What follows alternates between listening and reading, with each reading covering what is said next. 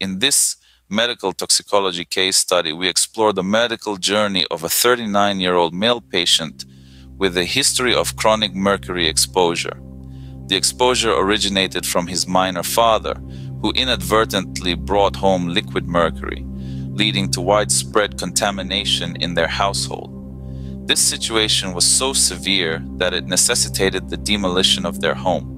The patient's initial exposure occurred approximately seven years ago, and he has since undergone multiple rounds of dimercaptosuccinic acid, DMSA, chelation therapy to manage the toxic levels of mercury in his system. Despite these efforts, his mercury levels have fluctuated, requiring continuous monitoring and intervention. The patient presented with a range of symptoms indicative of mercury toxicity, including abdominal pain, nausea, vomiting, blindness, body ache, and chronic pain without any focal weakness. Laboratory tests revealed a lipase level of 134 units per liter, a TSH level of 00.93 milli international units per liter, and normal liver function tests. His blood pressure was notably elevated at 161 over 106 millimeters of mercury. Other significant lab results included a sodium level of 134 milliequivalents per liter and a blood urea nitrogen level of 22 milligrams per deciliter. The patient's magnesium level was 2.2 milliequivalents per liter. His hemoglobin level was 14.7 grams per deciliter, his platelet count was 199 x 103 per cubic millimeter.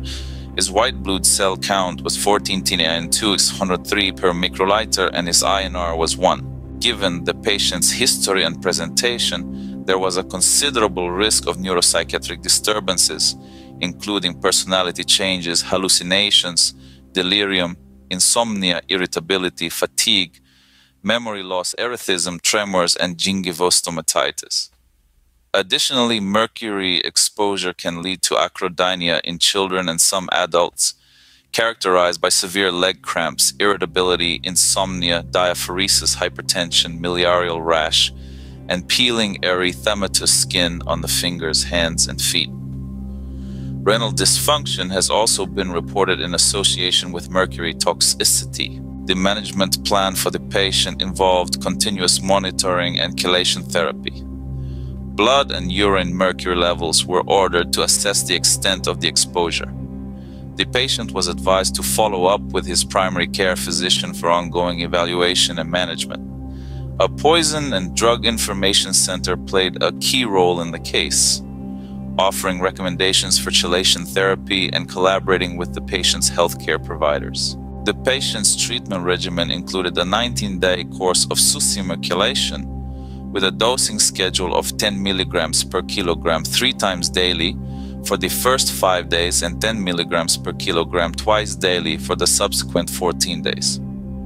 The patient's last recorded weight was 80 kilograms, resulting in a dosage of 800 milliliters three times a day for the first five days and 800 milliliters twice daily for the remaining 14 days. Succimer is generally well tolerated with few adverse events reported. Throughout his treatment, the patient's mercury levels were closely monitored, and additional rounds of chelation therapy were considered based on his symptoms and lab results. The patient's response to chelation therapy was meticulously observed to reduce mercury levels while managing his symptoms effectively. The prognosis for mercury toxicity depends on the extent of the exposure, the efficacy of chelation therapy, and the patient's overall health.